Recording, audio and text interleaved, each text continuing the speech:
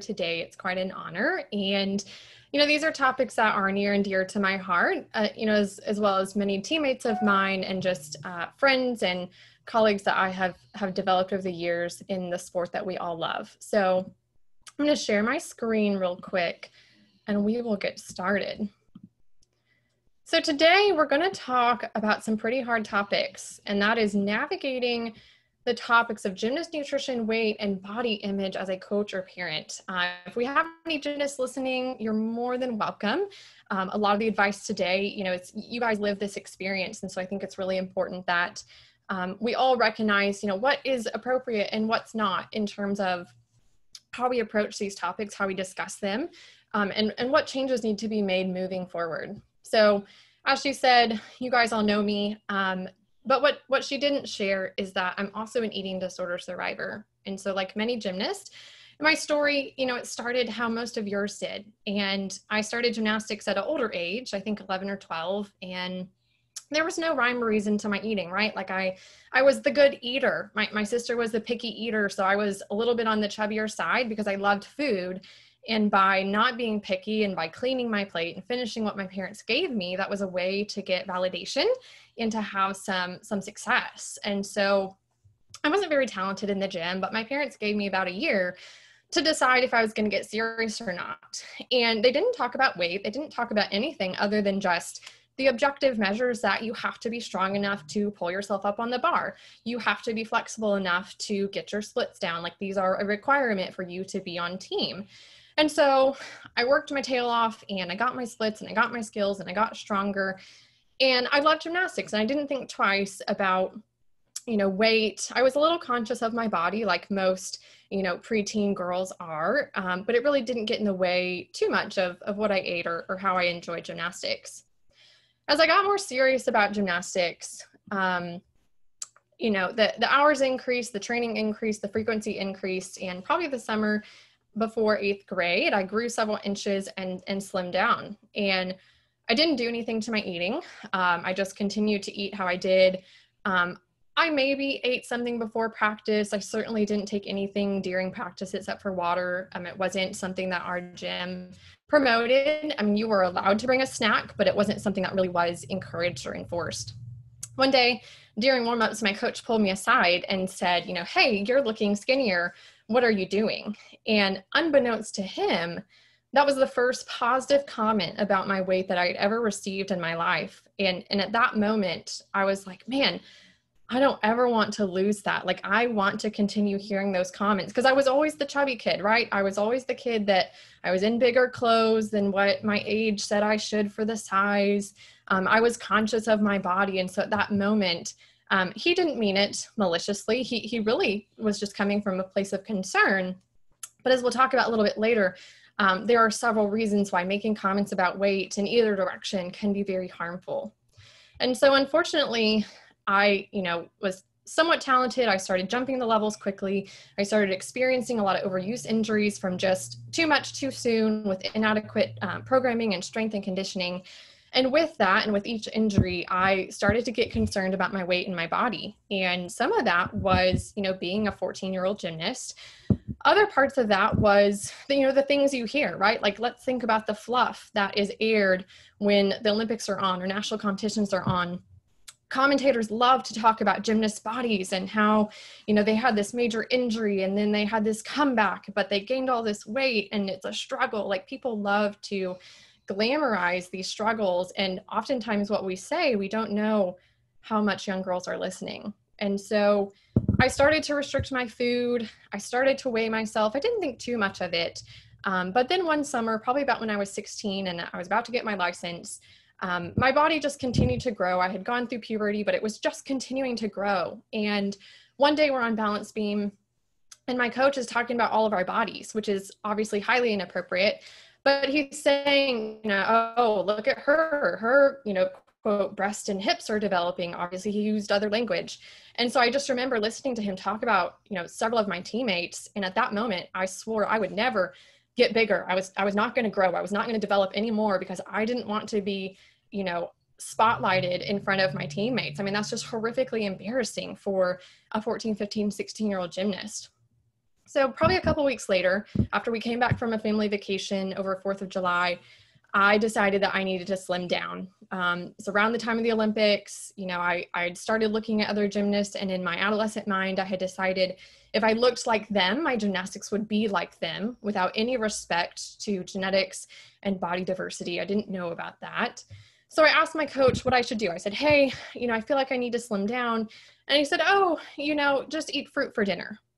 So here we are, the first, you know, misstep, right? Misguided advice to a 16 year old gymnast. And so, of course, I go home and, um, you know, every family has their struggles. And it was easy for me to just, um, you know, come home late. My family had already eaten dinner. My sister had gone off to college. And so, you know, I told my dad, who loved gymnastics just as much as me, that, you know, this is what coach said and this is just what I need to do. And it's part of training. And so they let it slip by. And unfortunately, that was the start to a perilous fight with an eating disorder, uh, anorexic tendencies that then um, led me to the point of you know almost being pulled out of gymnastics. And i decided to eat enough to get by. Um, my parents took me to the pediatrician. Pediatrician gives them the, the typical spiel of you know eating disorders are a slippery slope. Here's a referral to the local eating disorder treatment center to see a therapist and a dietitian at this point i was in denial um, I wasn't going to admit I had disordered eating or an eating disorder, especially in our sport where a lot of these behaviors are so normalized. My parents were in denial because these behaviors are irrational uh, and difficult to understand. It's very difficult to understand why someone just won't eat. And so I had a couple of visits with the dietitian, had a couple of visits with the therapist. Um, in my 16 year old mind decided that you know i didn't like them because i didn't think that they knew what they were doing so I just told my parents, um, I'm, I'm not going back. And I love my parents to death. They're wonderful and fabulous.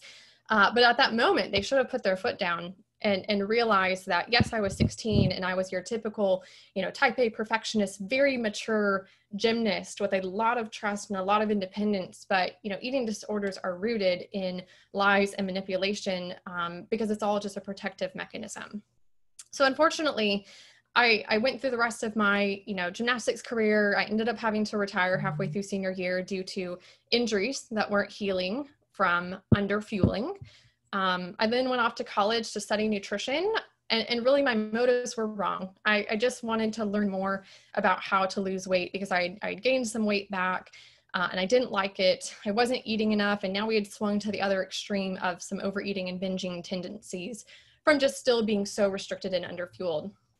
So the next couple years are really just characterized by me trying to figure out my nutrition philosophies, trying to sort through the nutrition noise and all the you know books and diets and the nutrition zealots that love to demonize this food and that food and you know almost give food a magical power to it. And it wasn't until mid college where i um, you know signed myself up for counseling and, and realized that i didn't want to keep struggling with food in my body. Um, and it took years years of counseling and thousands of dollars to, to really heal and recover um, from, from this struggle that is not unique to me right? I, i'm just representative of hundreds if not thousands of gymnasts that have that come before me and that come after me that have struggled and haven't had appropriate treatment. And there was just several steps along the way with comments and things that were allowed to go on that really could have been dealt with at several points and you know more um, you know, had expedited recovery and treatment. So with that, I'm delighted to talk to you today about how we can, you know, start changing the culture and how we do handle these sensitive issues because they come up. And I'm not going to sit here and just say you need to ignore them, you need to put your head in the sand. Um, gymnasts are going to say things to you, parents are going to say things to you, coaches are going to say things, medical providers, you know, people um, sometimes are concerned or have questions. And a lot of times at this point, especially, you know, after everything that's gone on in the last several years, um, people don't know what to say and they don't know how to handle it. So I want to jump in and tackle. So today we're going to talk about the history of the gymnast body we're going to talk about eating disorders in gymnastics. We're going to talk about normal growth and development, what it is and what it's not, and what can we can expect. We'll talk about when things go wrong, and I'll give you a couple case studies and an algorithm that you can use as parents and coaches to help, you know, troubleshoot and decide what's next when you realize that something's wrong. And then how to help without harming, because this is really the key. So why should we be concerned with how we approach nutrition and weight? Obviously you heard my story and it's like many of yours. And we have to prevent disordered eating behaviors negative body image and chronic suffering in life beyond the sport. I tell all of the clients i work with that as much as you love gymnastics it is temporary right? It's a gift but it's here today and it can be gone tomorrow.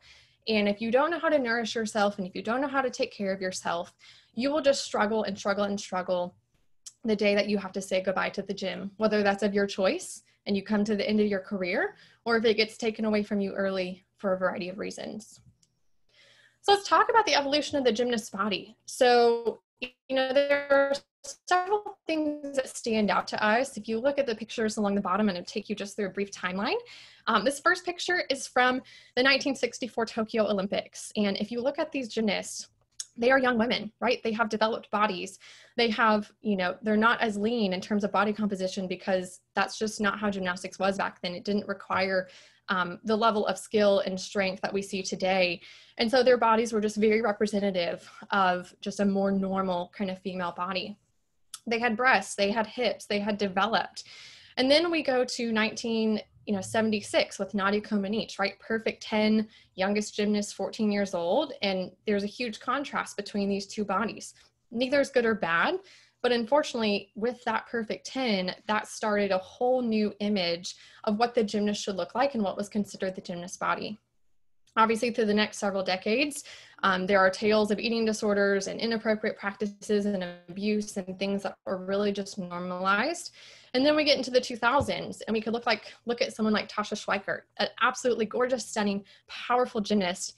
Yet at the time was body shamed and was told that she should look like some of her teammates who were thinner and smaller, yet they were struggling to death with eating disorders.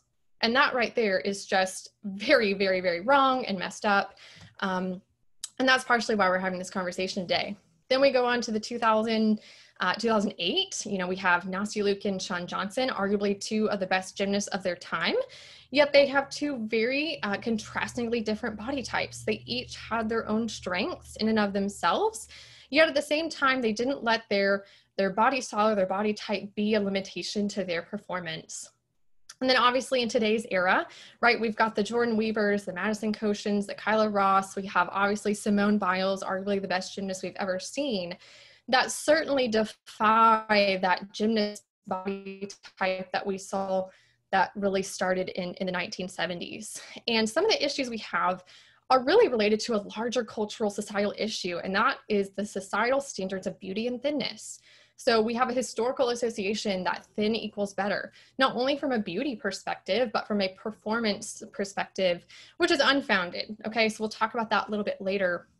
And then the second aspect here is just the increase in the code of points difficulty. Um, obviously, you know, if we compare the 60s, 70s, 80s, 90s compared to the gymnastics of today. Today's gymnastics requires such strength and power that you're going to have the musculoskeletal because of the training that has to be put forth in order to do the skills, right? Like there has to be a level of, of muscle and of strength to get yourself on the bars, to throw yourself in the air.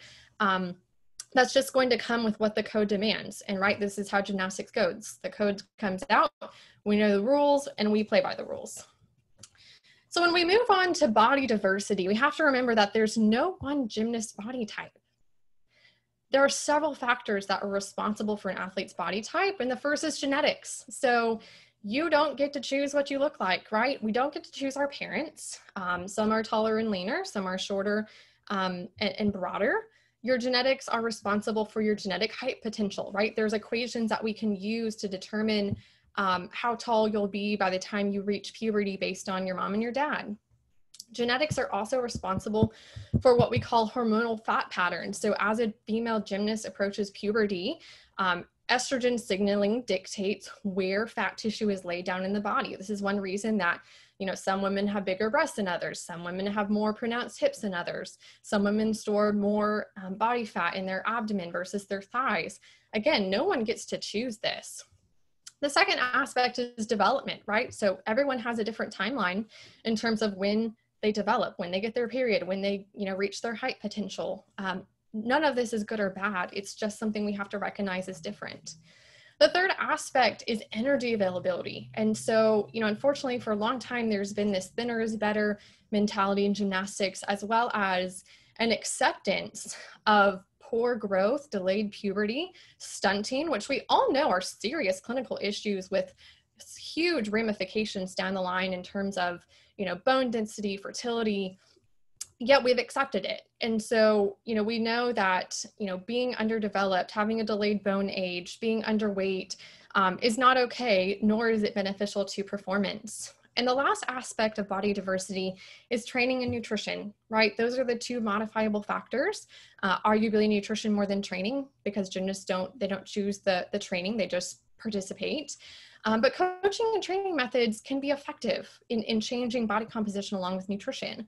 We're seeing that these days in the advent of, you know, external loading, right? Instead of just thousands and thousands of body weight reps, we're introducing strength training. Coaches are um, involving strength and conditioning coaches. I have several friends, you know, in the industry, whether it's, you know, Christina Myers or Dave Tilley that uh, are you know certified strength and conditioning coaches and are really challenging the cultural norms in our sport. And this has a profound impact on being able to change body composition along with appropriate fueling and nutrition. So in terms of statistics not to be the bearer of bad news but we're not doing better so general population, at least for females, we know that 41.5% of high school female athletes report disordered eating. In gymnasts, we have studies from the 2000s that show at least 50 to 60% of gymnasts have disordered eating symptoms or a true clinical eating disorder, and we'll talk about that more. Eating disorders have the highest mortality rate of all mental illnesses, and unfortunately, a lot of the behaviors that go on in gymnastics, whether they're subclinical eating disorders, disordered behaviors, body dysmorphia, um, they are related to eating disorders and have serious health consequences uh, yet, yet they're normalized. In terms of consequences beyond sport, we know so many gymnasts have chronic issues with weight, with body image, and nutrition that outlast their time in the sport, potentially their whole life, and, and we can do better. So, why are gymnasts at risk, right? It's not all the coach's fault, it's not all the parents' fault. Um, you know, obviously, the first issue is, is inappropriate nutrition and weight practices. So, this could be the result of an eating disorder or disordered eating, or just unintentional underfueling or normalization of inappropriate behavior. So, a lot of times it starts as simply as the young gymnast climbs the level, she's working out 20 plus hours a week, practice schedules are off in terms of you know they're in the middle of meals and snacks and uh, maybe it's just not promoted that they should bring snacks and really need to focus on their nutrition outside of training. So they end up just being in this chronic energy deficit, which then delays growth and puberty and causes all sorts of issues. The second aspect is obviously gymnasts themselves. So, you know, gymnastics attracts uh, often a certain type, right? It's that perfectionist uh, type A behavior. I'm, I'm a recovered, you know, type A myself. And, and this mentality is I must try harder, right? It's all in my control. Um, it doesn't count if it's not perfect. And so, unfortunately, these personality types will take things like eat less sugar, and in their minds, that translates to I shouldn't eat any sugar. Um, I'll tell you that just this week, I have two different gymnasts that are struggling with food in their bodies. And these struggles stemmed from some health classes that they were required to take at school. And in these classes, there was just tons of information about nutrition um, that was not buffered with, you know, age appropriate uh, sensitivity. And, you know, statements like, you know, you shouldn't eat saturated fat easily get turned into you can never have a hamburger, you shouldn't be eating red meat um, and a lot of just exaggerated overgeneralizations that are not supported by the current literature. The last aspect is just unfortunately our sport has a poor history of proper nutrition education and support. And this is you know encompassing insufficient fueling practices inadequate caloric intake and then excessive exercise energy expenditure. So one great example of this is a lot of the high level gymnasts i work with go to a four hour practice with just a bottle of water. Yet you talk to any runner and they know that when they're running beyond 60, 90 minutes, they have a carbohydrate based electrolyte drink, they have additional supplemental carbohydrate. Um, you look at the cyclist, tons of articles about them, you know, consuming 60, 90, 120 grams of carbohydrate per hour to maximize work output and performance. Yet gymnastics as a sport has been one that, you know, I, th- I think sometimes we're the exception to the rule, right? Like you don't need water or you don't need anything else, just water and, and you'll be fine. So what are our current issues if I had to boil them down? It's number one, inappropriate nutritional advice from coaches, parents, and unqualified practitioners. I'm just gonna call it like it is. And the second would be inappropriate body comments and body weight standards that are not based on objective data. We have to look at performance over aesthetic. So here's a quote from a really great paper that you all should read, and I'm happy to post um, the reference, but says the vast majority of athletes feel like they're on a constant chronic diet. It's typical for athletes to spend hours of daily training with only water and no other snack, and coaches are aware of this. So it, this is a normalized behavior that is inappropriate.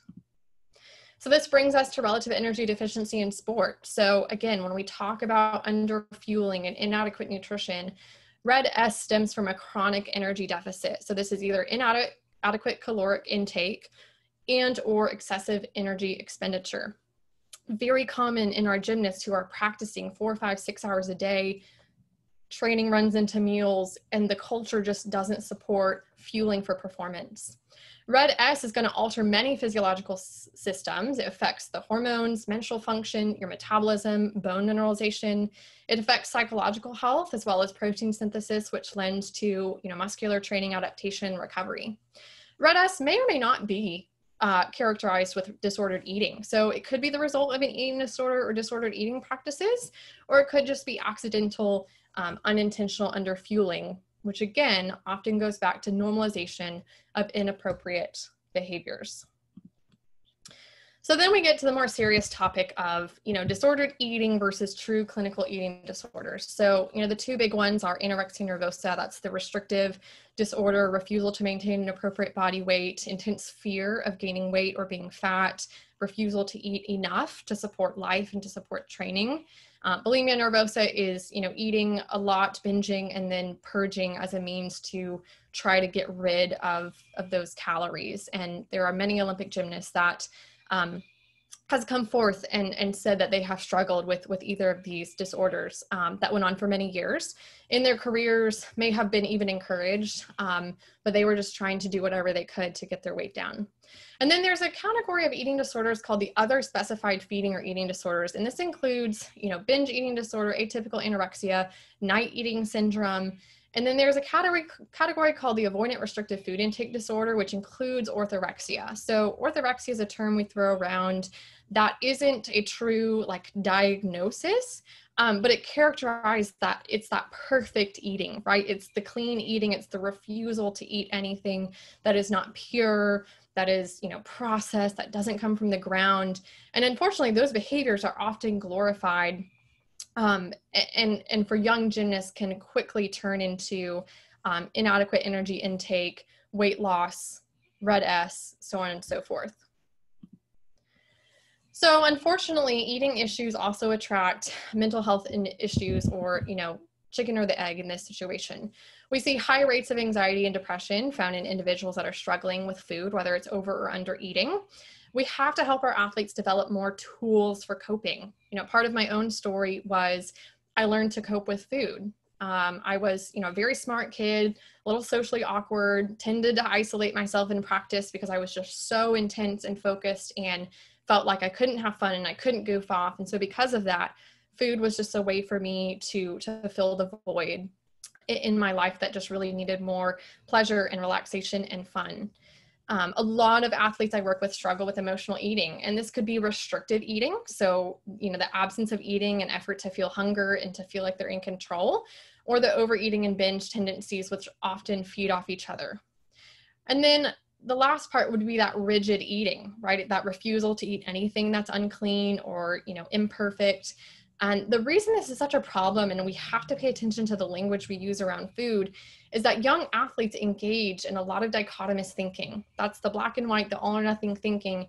And so, you know, when you as a coach or parent say something to them about food, they're very likely to take it to the extreme. I already gave you two examples before. You know, eat less junk food or eat less sugar easily translates into I can never have this ever again, uh, or my coach will think I'm bad or I'm fat or whatever. So, how are we talking about food?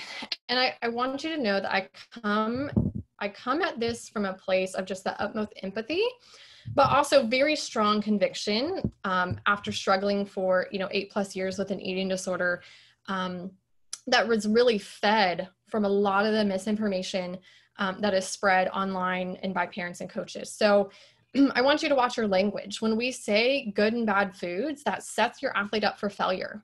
And the truth is, restriction doesn't work. It is human nature to want what we don't have. So the moment you tell your gymnast not to have sugar, that's all they're going to be able to think about. Um, one of the pivotal moments in my own story, it was right before Thanksgiving. which of course you know after halloween and thanksgiving christmas everyone's talking about you know the holiday food and dieting and weight gain and i remember my coach came into the gym one day and said all right we all need to stop eating sugar and we're going to do it for like two weeks and at that point, this is prior to the eating disorder. And at some point, I had heard from a nurse or an athletic trainer that chocolate milk was a really good recovery beverage after practice because it had carbs and it had protein.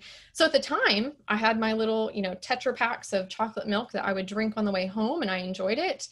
But at that moment, when my coach said to all of us on team, you know, we're, we're going to stop sugar, it made me question this advice I had received, and I determined at that moment like this was bad, that sugar was toxic. I stopped drinking the chocolate milk, I stopped eating a lot of desserts, and that just set me up for years and years and years of struggling with food. The second term that I'm probably going to step on some toes with is clean eating. And this term is arbitrary and it doesn't guarantee performance. So the thing with clean eating or that pursuit of, you know, it can't have added sugar, salt, or fat. It has to be wholesome. You know, it's got to be the broccoli and the chicken, and it can't be processed or packaged. Um, you know, a lot of people use that as a method for weight control. Um, you may eat less while eating clean just because there's not, you know, some added fat or sugar that adds calories. But at the end of the day, when we're talking about body composition, when we're talking about weight, calories count.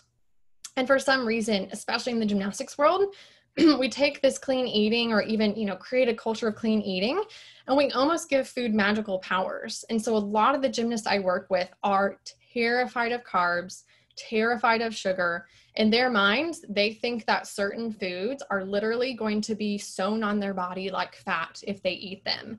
And that's just a fundamental misunderstanding in the laws of thermodynamics, physiology, and metabolism, but unfortunately is a very widespread um, cultural sentiment. My advice is to use evidence-based nutrition guidelines that are age and developmentally appropriate. Clean is easily taken as good or bad.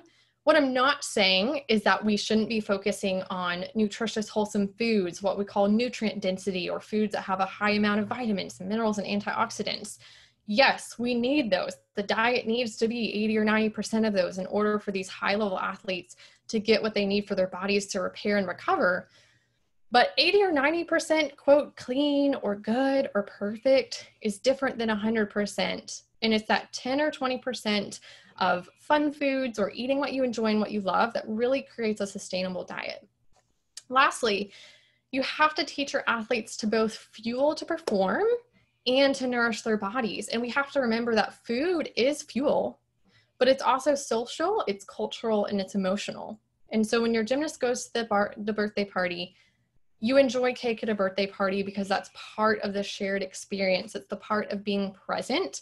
And there's no reason that that piece of cake cannot fit into their daily, you know, dietary pattern to say that they should avoid all sweets or all foods or all whatever. Um, it's just unrealistic and it's going to set them up for um, very likely overeating and just struggling with food, as well as a lot of guilt and anxiety and shame.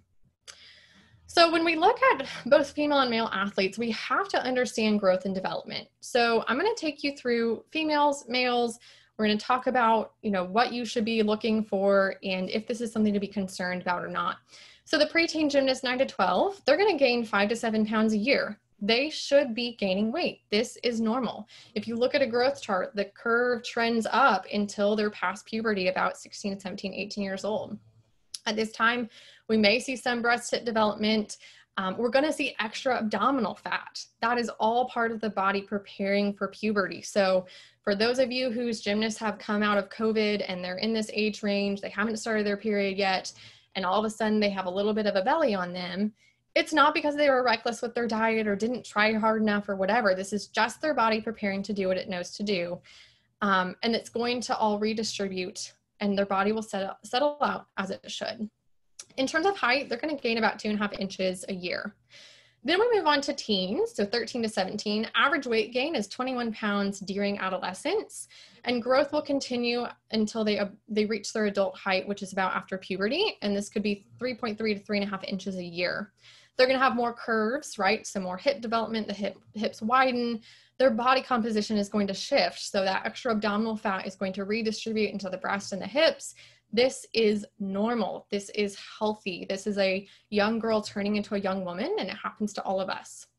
Obviously, as a young adult, in the gymnastics world we may have some delayed growth and that that's not something to be celebrated that's not a badge of honor so some gymnasts may not be finished growing um, at teen at 18 but the thing to remember and what i tell my athletes is your 18 year old body should not look like your pre-pubertal 10 to 12 year old body and unfortunately at one point this was celebrated in gymnastics right? Girls were um, praised if their bodies were smaller and they weren't getting their periods and they had delayed growth um, because we had this this image of you know thinner is better thinner girls fly higher um, which is just wrong and, and not backed by science obviously my branding and my platform is is very female focused um, but i can't leave the males out of this because they struggle just as much as our females and arguably have way less support so their growth pattern is a little bit different they generally hit puberty later from 9 to 12 years old, they'll gain about 5 to 9 pounds a year, average 2.5 inches per year. Growth spurt depends on puberty.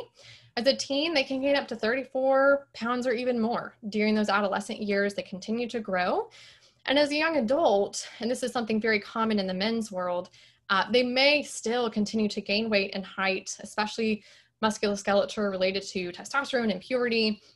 But oftentimes we see delayed growth due to inadequate energy intake. So um, males are not um, they're not limited here uh, to, to, to, being free of these struggles. I'll tell you all the time, I have male gymnasts contact me on my platforms and say, you know, thank you so much for what you're promoting and your messaging. And that right there is enough to stop you in your tracks because typically food and body issues has always been uh, characterized as a female struggle. And that's just not the case.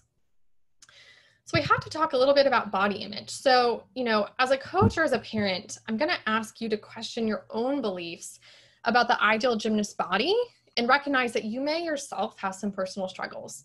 The reality is that many coaches and parents struggle themselves and, and can often project these struggles onto their athletes. Um, we all struggle, right? No one is perfect, but it's very important that you address your own struggles because your kids are watching everything you do.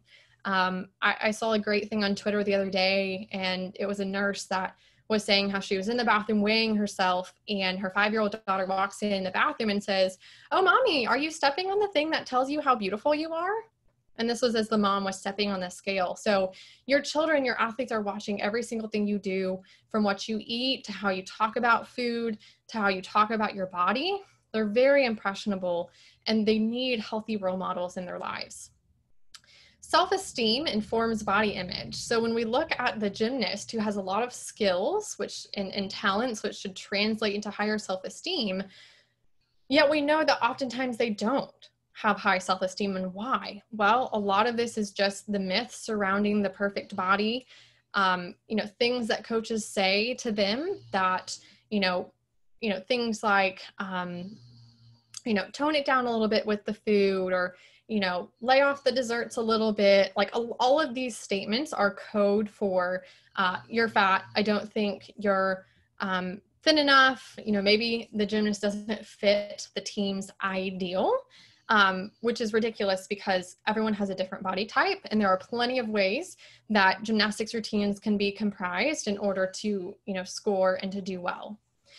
The last part of body image is, you know, negative body image and assumptions related to that, and then body dysmorphia. So a lot of gymnasts will assume that their appearance is equal to success, worth, and value, right? So if I only looked better, if I was only prettier, if I only had more muscles, if I was only leaner, then my gymnastics would be better. Then I would be more well loved. Then I would have more attention paid to me.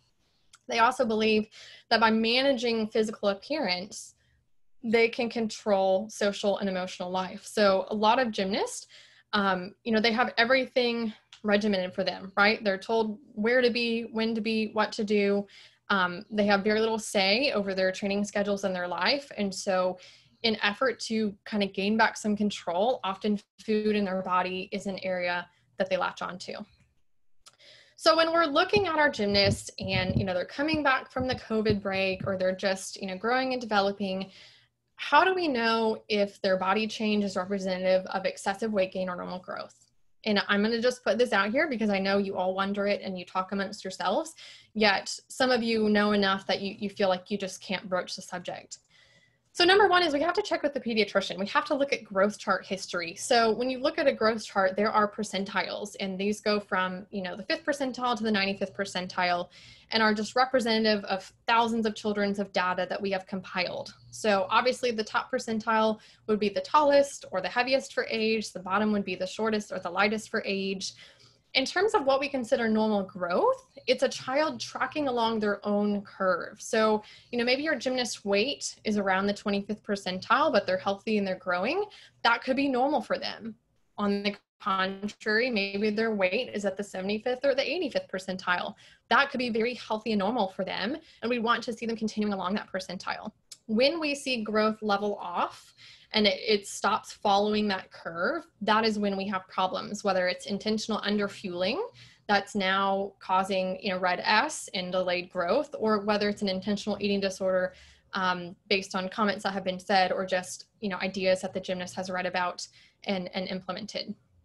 So the second thing you have to recognize, especially if you're worried about excessive weight gain, is it's rarely the food. And so this goes back to just mental health challenges and you know young athletes using food to cope. When i talk with clients i tell them there are four things that people cope with drugs sex alcohol and food. And under 18 food is the most readily available and arguably legal substance to use to cope. So unfortunately our gymnasts are not excluded here. There are a lot that at a young age, you know, even between five and eight years old, learn to cope with food. And so, you know, when you see a gymnast and you're worried about their growth or you feel like they've gained too much weight, um, it, it's very unlikely that it's for lack of education. We could have much deeper issues going on.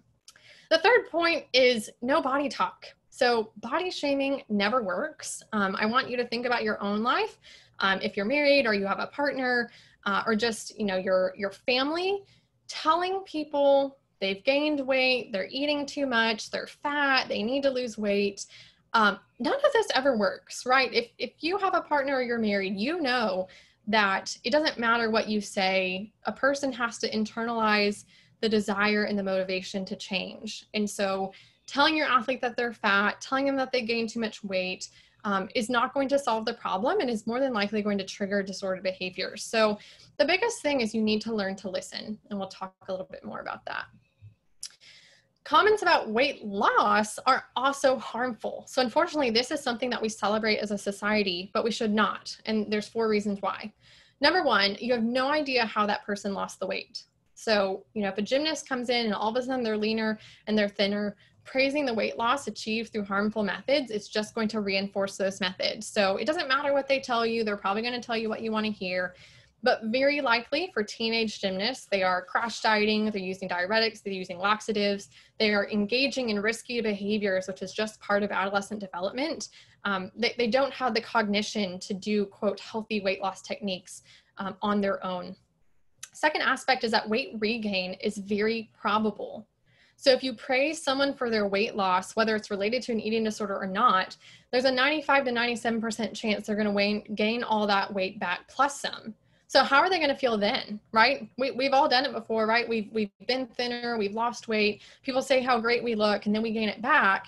And then it's like, oh, so you actually thought I was fat. Like you think I'm better when I'm smaller. Like that is very damaging uh, to self-esteem and to the gymnast view of themselves. The third thing is comments about other gymnasts' weight loss or them being thinner or looking better.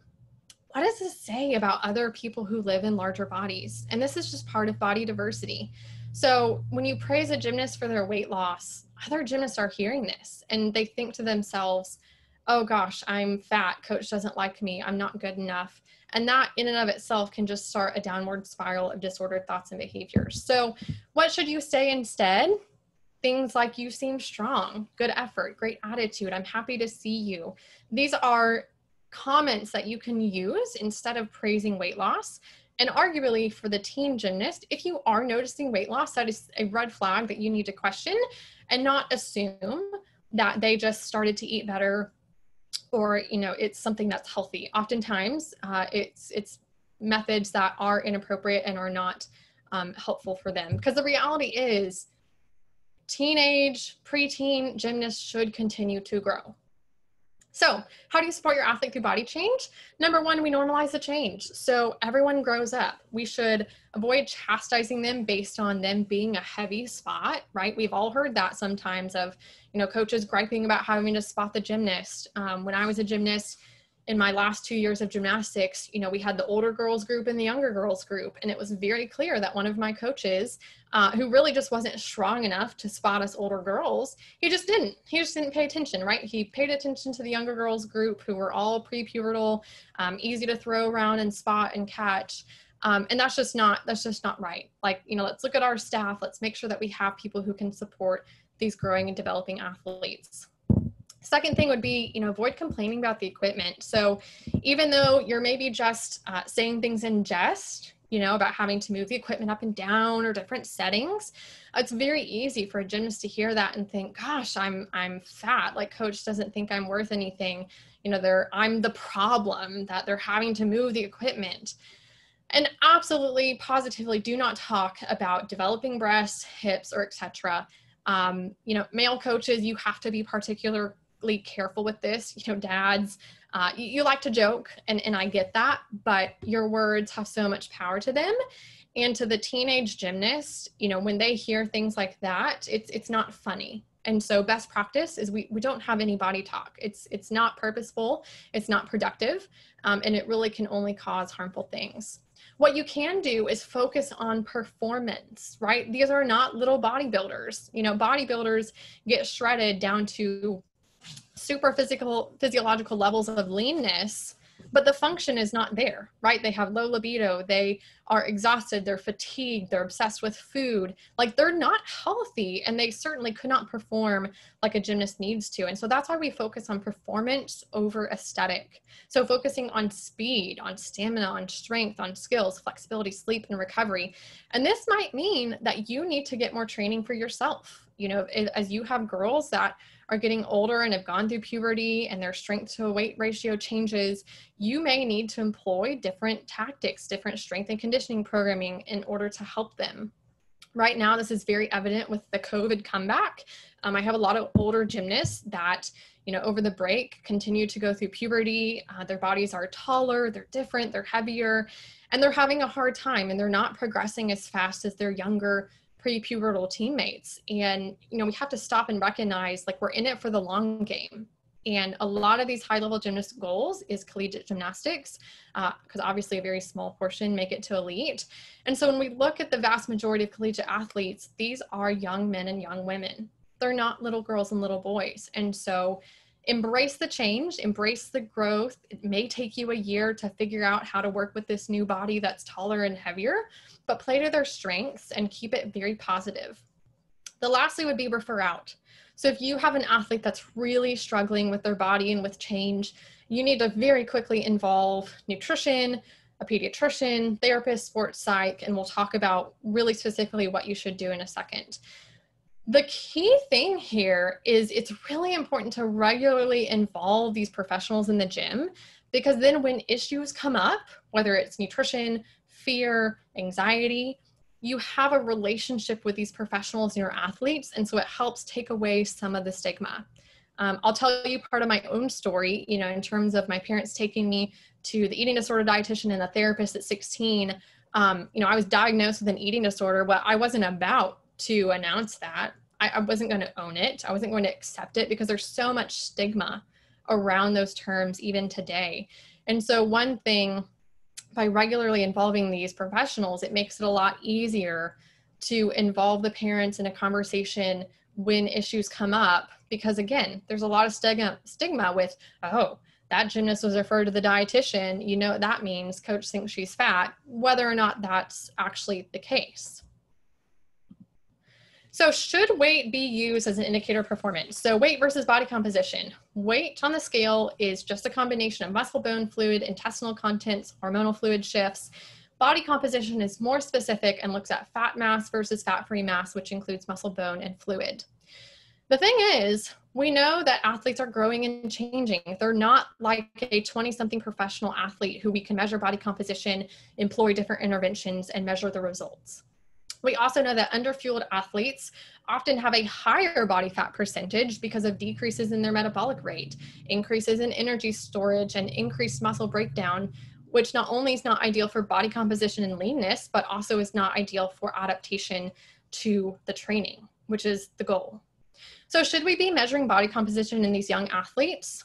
My first question to you, whether it's an elite gymnast, a high level JO gymnast, even a collegiate gymnast, would be why do you need this information? Is there a body fat percentage, which for every tool out there that could be used has a, as a margin of error? Why do you need this information? Is it, in, is it going to change your plan? More than likely, the information is not appropriate for you. It's not within your scope of practice. And secondly, body composition measuring is really not appropriate unless these are national and collegiate level athletes with advanced nutrition skills. There are so many factors that influence body composition that we could address nutrition, sleep, stress management, appropriate rest, and training that will have a profound impact on their body composition before we just do a bunch of testing, tell them what their body fat percentage is, and then put them on a diet. For these athletes, so certainly any in the JO program, and I would argue even our elite track and, and young college athletes, there should be a limited focus and discussion on body composition. And it may be measured in terms of, you know, coming from a health perspective. You know, a DEXA scan is one method to measure body composition as well as bone density. So arguably for an athlete we're suspecting RED-S. you know, we want to check the bone mineralization um, because we know they're at risk for stress fractures but other than that you know th- there's a reason that that a lot of this equipment is limited to research based settings um, or, or, very elite you know sports performance centers.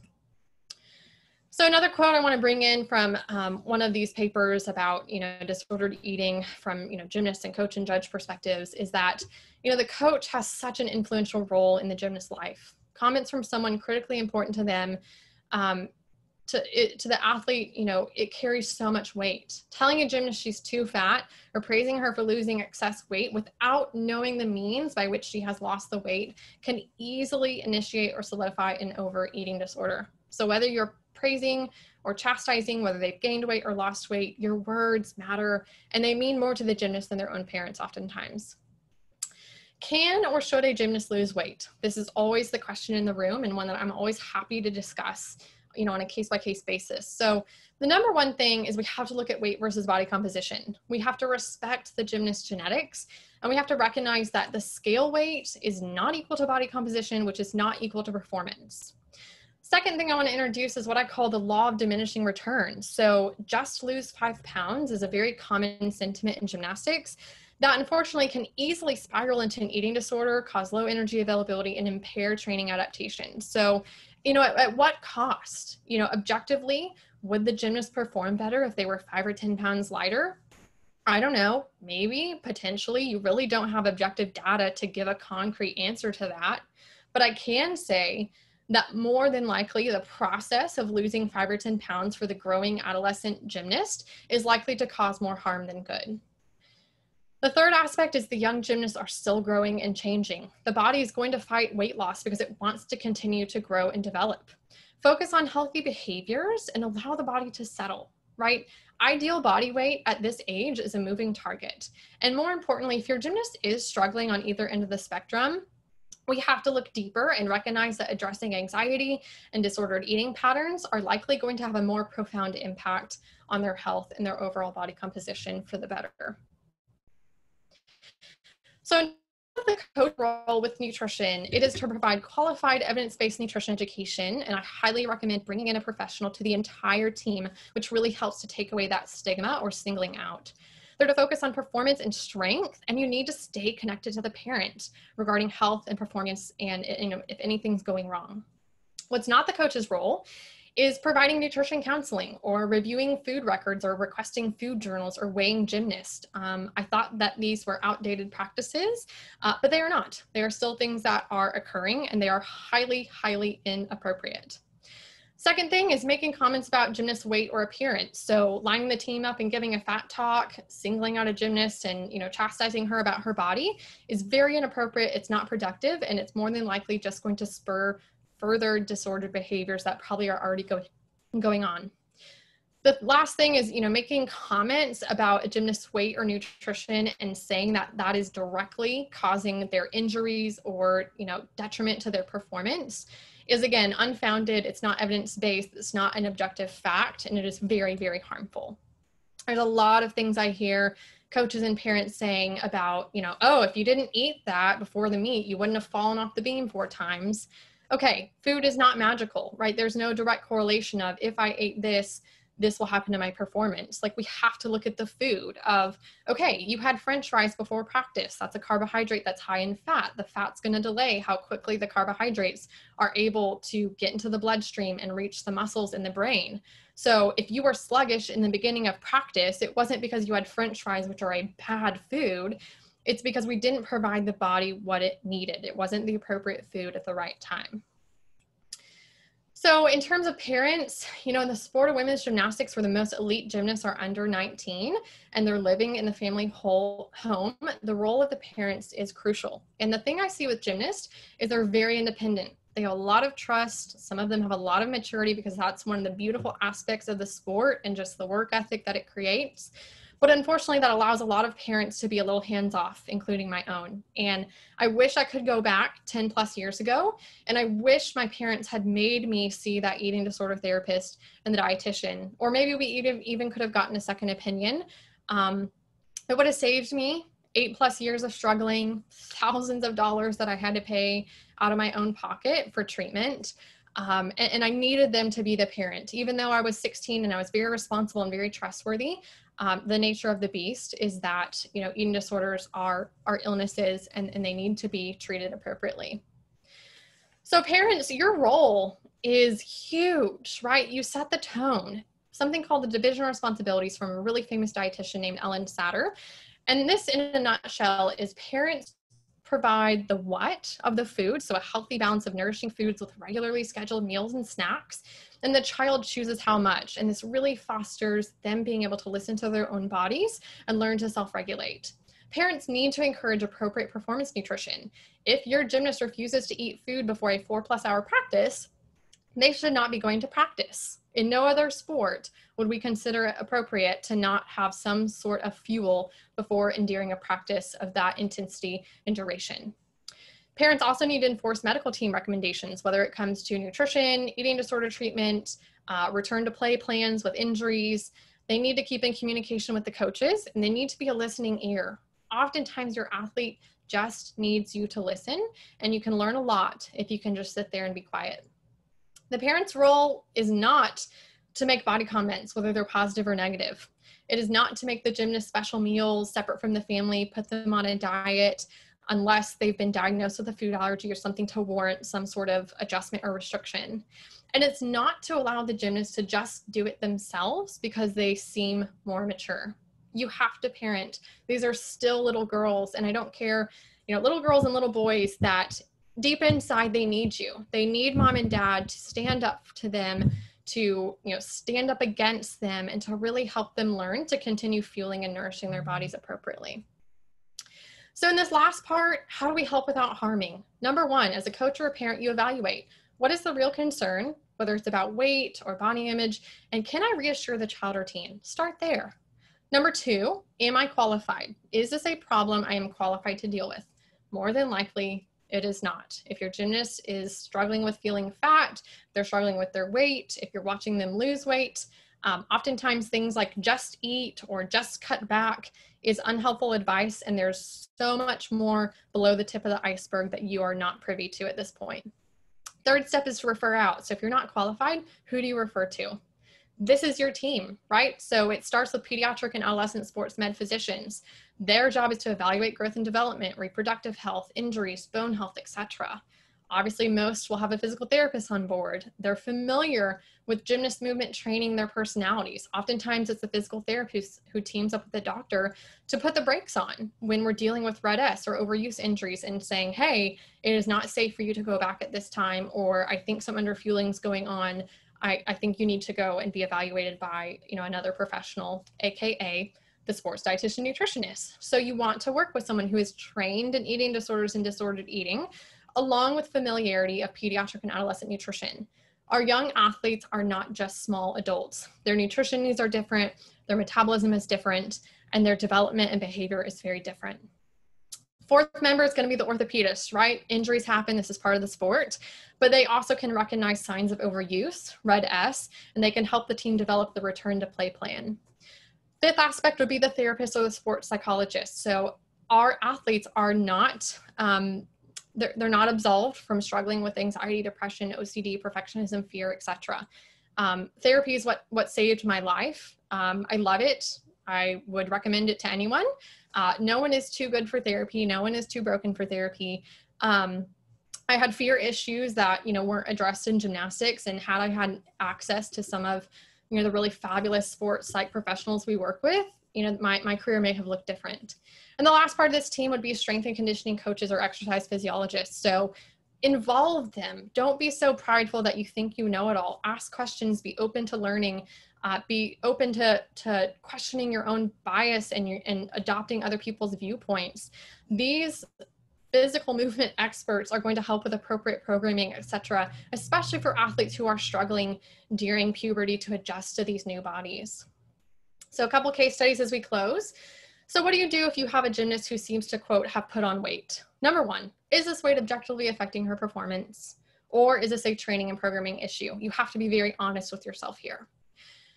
The second part is she still could be under fueling. So she could be, you know, under fueling and then binging. She could be under fueling and that's why she's not getting as lean as you think she should be.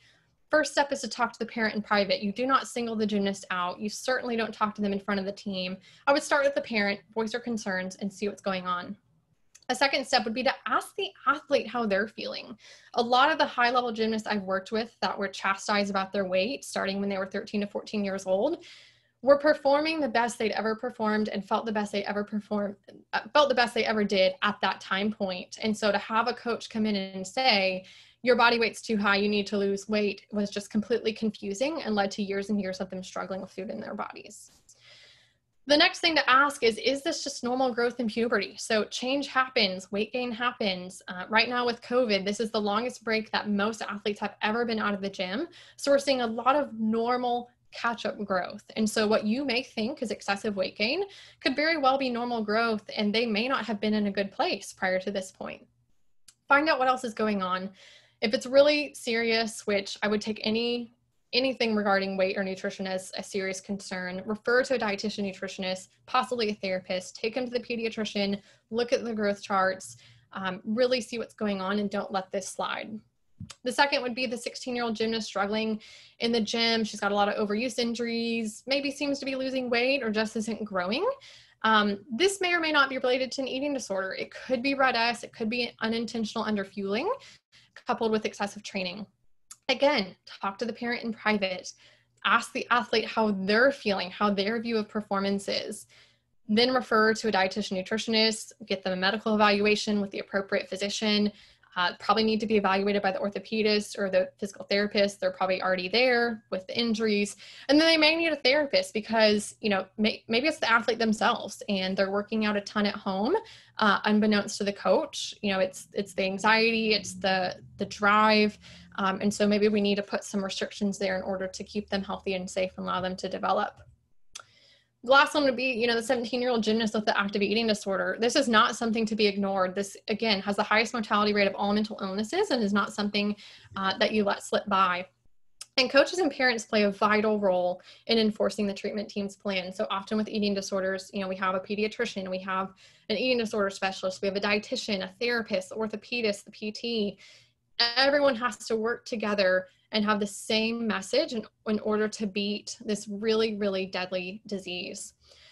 RED-S and eating disorders should be treated like injuries. So, you know, if your athlete has an eating disorder or if they have RED-S, they need to be pulled. They, there needs to be exercise restrictions. Uh, it, it needs to be viewed just like any other injury where there would be a very clear cut rehab and return to play plan in place. Acknowledge that both mental and physical recovery needs need to happen for safe return to sport. So just because their weight restored doesn't mean that they've done the mental work to put them in a better and safe, healthy place obviously refer to a dietitian. We need a medical evaluation. We need a therapist. I mean, this is something you don't want to mess with. And so having that team, you know, as a coach or a parent, being familiar with the experts in your, your area, you never know when you're going to need someone. And I guarantee you most of these professionals will welcome a phone call from you to, to, to, talk, right? All the time I'll talk with a coach and, you know, they'll give me the, the brief details of a situation and I'm very happy to help kind of outline, you know, what potentially the best next steps would be in terms of getting this athlete treatment. So in summary, we have to support healthy growth and development. We have to embrace body diversity and recognize that it's performance over aesthetic every single time. As parents and coaches, we have to model healthy behaviors and bring in professionals for education. So incorporate nutrition training into your programming along with mental health training. Like these are two aspects that are very important to the gymnast and shouldn't be overlooked um, and just left for those who are struggling. This is something that everyone needs that is beneficial to them as a gymnast, as a person, into their career. Lastly, you need to know when to refer out. Recognize when you're out of your scope. Involve parents and professionals immediately. Uh, don't be swindled by the gymnast, you know, diminishing on the issues or the concerns. Do what's right. You know, follow your gut, ask questions, because ultimately you may be saving a life and doing what's best for this gymnast. So with that, we open it up to questions. Um, here's my contact info, my website, Instagram, Facebook group for parents and coaches uh, and, and my email here. Feel free to contact if you have something you want to ask separately. But at this point, I'll let Kim moderate our questions. Thanks, Christina. I found it really, really helpful, and I hope um, all of the participants did. I know we're a little bit over time, um, but I do want to mention that if you found this useful, this webinar is going to be available on our website. So if you navigate to the education page, scroll down towards the bottom where you see a link to webinars, click there, and you should be able to find this um, this posted hopefully within a day or two on the webinars page. So um, just wanted to make sure that everybody knows that that's out there. Um, so there were a couple questions about working with um, sports psych. I think you answered those within your presentation, um, but very important um, to involve sports psychologists or mental health professionals um, very often when there is an eating issue, and I think you would agree. Yeah, oh, 100%. It is it's it's a mental battle as much as it is a physical battle. And and like I shared with my own story, I mean really the hard work and the change and the healing and recovery came from from therapy. Um, so yes, don't don't think that just because it's a nutrition issue, um, it can be fixed. It's very much a mental battle that needs a lot of support. Mm-hmm. Uh, another question came in that says, um, asking about gymnasts who are over 16 who haven't started uh, their period. And um, I think this is definitely something that we do see in gymnastics. And I know from the medical point of view, I, will speak a little bit to it. Um, sometimes there are medical conditions that that cause an athlete to not have their period. Um, but I'll let you speak to the nutrition side. Sure. Yeah. So so typically, if they've not started their menses by 16, that's called primary amenorrhea, and certainly warrants uh, a full medical evaluation. Um, obviously, for the gymnast, the most common cause is is RED-S, so it's it's inadequate energy intake. Um, and so the body, you know, reproductive is it's almost this accessory function where you know the body gets into kind of famine shutdown mode where it says, hey, there's not enough energy available to support a baby. So the brain's going to tell the ovaries to shut it off um, until there's enough energy there. And so that's the most common issue, which obviously can be remedied with appropriate refueling and potentially adjustments to training. Uh, but there could be other issues like hormonal conditions like polycystic ovarian syndrome, uh, which has a, a, different treatment modality to it. Unfortunately, either of those conditions can be intertwined in disordered eating um, stress, you know, psychological stress can certainly affect um, the, the hypothalamus, you know, gonadal axis. And so certainly don't accept that just because your gymnast hasn't started the period by 16 that it's normal. And also don't accept that, you know, just putting them on birth control to, you know, jumpstart their period or to get them to bleed to protect their bones. Like that's really just band-aiding um, the underlying issue, which again, for the gymnast is typically just inadequate nutrition. Thanks. Uh, there, there's another comment here which um, I I want to just echo: positive mental training and emotional support very important um, for coaches and parents both. Be proactive in building self-esteem and confidence. Um, you spoke a little bit to that, um, and you know, although this webinar is focused a lot on nutrition, I think what what's really helpful to gymnasts is to give, make those comments that are positive and supportive. And that's what's going to get your athletes um, through and moving on and improve their performance um, rather than negative comments toward weight or body changes. I, I don't know if you wanted to speak a little bit more to that. Yeah, no, I mean, you covered it. it you're going to catch a lot more flies with honey you know than anything else and they, they just need your support and your, their encouragement. You know the teenage years are so tumultuous for a variety of reasons and there's honestly probably a lot more outside of gymnastics that is causing them stress and angst and, and struggles with food in their body. So you know they need their coaches they need their parents to be these safe and supportive places where they can come to the gym and enjoy gymnastics because they've loved it. Uh, they can come home and they're accepted by their parents, regardless of how well they performed or regardless of what they look like. Um, that's that's so important in just helping develop these these young males and females into healthy, functioning adults. Yeah, I agree. Um, all right, since uh, since we're pretty far over time, I think we will uh, call it a day. But I really want to thank you, Christina. I found this extremely useful. I'm sure that our participants did as well. Um, and I appreciate you taking the time to to do this webinar for us. So thank you. Oh, absolutely. It was my pleasure. And you know, hopefully we'll we'll do it again. Yeah, I hope so. Thanks. Have a great day, everybody. Bye.